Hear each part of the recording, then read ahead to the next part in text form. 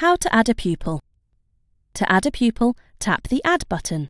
This is the round blue button in the bottom right hand corner shown throughout the app. Tapping the Add button brings up the Quick menu where you can select pupil.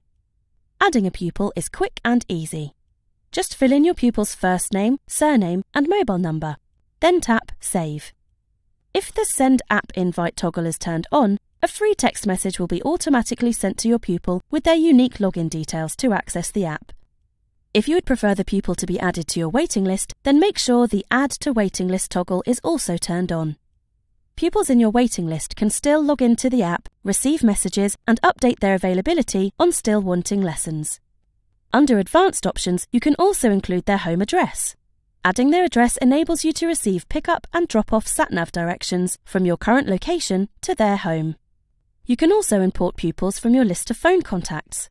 To do so, under the Add Pupil view, tap the Import button at the top of your screen and select the pupil.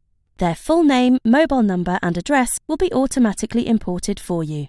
Once added, you can enter your pupil's details, entering their license number, date of birth, email address, and eyesight check, for example. Furthermore, you can also record their availability, marking the days and times your pupil is available when planning future lessons. To access the Pupil app, they will need to agree to your terms and conditions. By doing so, you will receive a message confirming the date and time they agreed to your terms digitally. You can also add pupils through the web admin at www.totaldrive.app.